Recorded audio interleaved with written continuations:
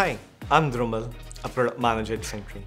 A user recently complained that taking actions on Sentry Slack alerts is too slow.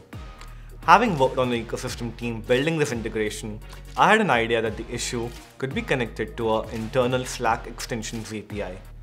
To confirm, I headed to the metrics tab in Sentry to chart the max duration of that API to see how bad it could really get. I saw the worst times are taking over 10 seconds, far too long for any user to wait. Next, I jumped to Sentry's new Trace Explorer and searched for traces that can help me debug.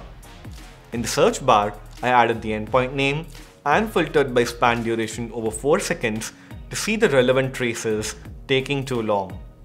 Then I jumped into the problematic span and Sentry's trace view helped me identify that the slowness is likely being caused by some of our middleware code that is taking too long.